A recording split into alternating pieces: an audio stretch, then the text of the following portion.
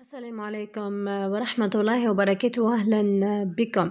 جملة من الأخبار في هذا الفيديو نبدأها بخبر أعلنته الأستاذة وفاء الشادلي على صفحتها الرسمية الوحيدة على موقع فيسبوك وهي وفاء الشادلي نقطة الصفحة الرسمية. هذه هي صفحة متاع الأستاذة وفاء الشادلي تقول بأنه آه، فما زوز قيادات في حركة النهضة آه، متورطين في ملف آخر أو تحكي على شبهة أخرى اللي تذكرها في تدوينتها. تحكي على لحبيب اللوز ونور الدين الخادمي اللي هو كان وزير شؤون دينية سابقا. تقول تبين من الأبحاث المجرات ضد لحبيب اللوز أنه هذا الأخير. يعني لحبيب اللوز أسس جمعية الدعوة والإصلاح مع المتحصن بالفرار بقطر نور الدين الخادمي. وقد كشفت الأبحاث أنه ما أسس وكالة أسفار مختصة بالحج والعمرة وأسفرت الأبحاث أن هناك شبهة تلحقهما تتمثل في الاستيلاء على أموال المعتمرين بين سنة 2013 و 2017 قدرت ب 940 ألف دينار. وعلى إثر شكاية من المتضررين قدمت لوزيرة العدل التي أذنت للنيابة بالقطب المالي بفتح بحث في الغرض. وقد تم ذلك يوم الجمعة 24 مارس 2023 مع الإذن بإصدار البطاقات القضائية اللازمة. في بقية الأخبار نرجع لها في هذا الفيديو وهي مثول وزير سابق أمام فرقة مقاومة الإجرام بالجرجاني نحكي وعلى ناجي جلول رئيس حزب الائتلاف الوطني التونسي ناجي جلول اللي أكد آه، من خلال حسابه الشخصي على موقع التواصل الاجتماعي فيسبوك إنه مثل أمام فرقة مقاومة الإجرام بالجرجاني وتم احتجاز هاتفه الجوال ويقول آه، جلول بأنه مثوله أمام الفرقة هذه كان على إثر ما وصفه بوشاية كيدية. تقدم بها أحد نواب البرلمان الجديد حسب تعبيره وقال الوزير الأسبق في تدوينته واختمها بالجملة التالية قال لن أسكت ولن تخيفوني لأني صاحب قضية. هذه كانت تدوينة نجي جلول على صفحته الرسمية. في بقية المقالات الأخرى خلينا نحكي شوية على الوضع على الحدود مع آه، ليبيا. اليوم آه، حكومة الوحدة الوطنية آه، الليبية ووزارة الداخلية في هذه الحكومة في حكومة الوحدة الوطنية أعلنت أنها قررت تحط دوريات أمنية على طول الشريط الحدودي بين ليبيا وتونس. الوزارة هبطت تدوينة رسمية وقالت فيها وأشارت إلى استمرار عمل قطع العسى الأمني الصحراوي التابع لجهاز حرس الشريط الحدودي مع تونس من منطقة العسى إلى نقطة لحيمر.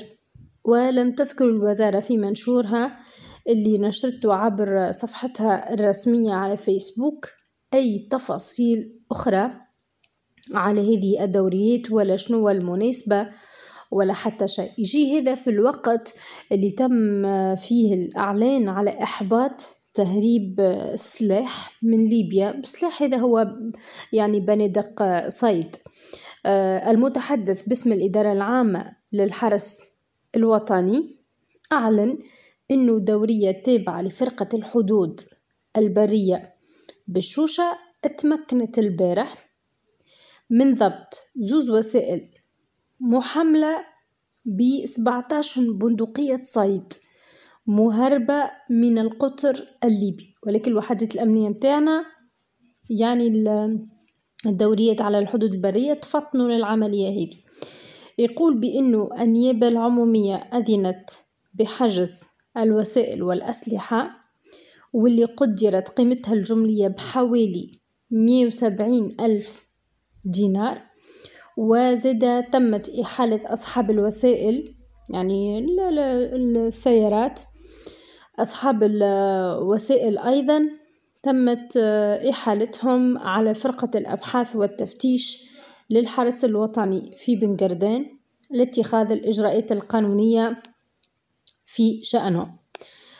طبعا كل ما هو على الحدود التونسية. هو يعني محطة أنظار ويقظة أمنية كبيرة برشا وفي ظل يعني الظروف هذي وخاصة المستجدات يعني الأمنية في ليبيا يقتضي يقظة مستمرة.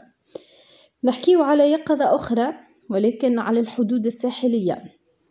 عملية الهجرة غير نظامية أرقام كبيرة قاعد يتم نشرها اليوم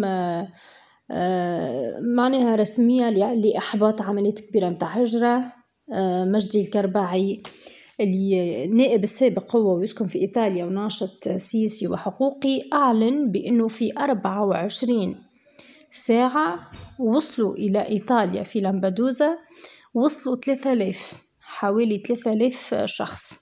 فيهم أغلبهم من إفريقيا جنوب الصحراء. وإيطاليا قالت اللي القوارب هذه وصلت كانت كانت الانطلاق متاعها يعني من تونس. اليوم زاد في تونس المتحدث باسم الإدارة العامة للحرس الوطني العميد حسام الدين جبيبلي أفاد بأن الوحدات العائمة التابعة لمنطقة الحرس البحري بالمهدية إقليم الحرس البحري بالوسط تمكنت في الأيام بين نهار السبت ونهار الأحد من إحباط زوز عمليات اجتياز للحدود البحرية خلصة. والمتحدث أفاد في البلاغ بأن الوحدات هذه تمكنت من نجدة وإنقاذ 74 مجتاز من جنسيات إفريقيا جنوب الصحراء بعد ما تعرضت مراكبهم آه، يعني آه، للغرق في عرض البحر. وأشار المتحدث بأنه النيابة العمومية أذنت باتخاذ آه، ما يتعين في شأنهم زاد أخبار أخرى تفيد ب وصول 43 مهاجر إلى لمبدوزة من بينهم 19 امرأة وزوز أطفال قصر. وفما حديث آخر على آه، وفاة 19 آه، مهاجر.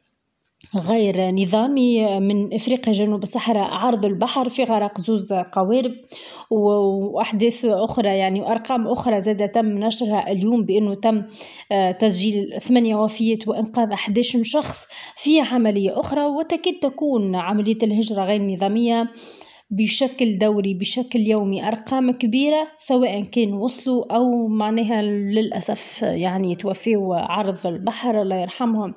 وينعمهم هذا يجي مع مساعي أخرى دبلوماسية وسياسية أخرى من إيطاليا وفرنسا والكل اللي اليوم أقروا بأنه يجب مساعدة تونس فورا لأنه الوضع آه، بالنسبة لهم هما متخوفين منه برشا وحسب القراءات فإنه فما قراءة مبالغ فيها.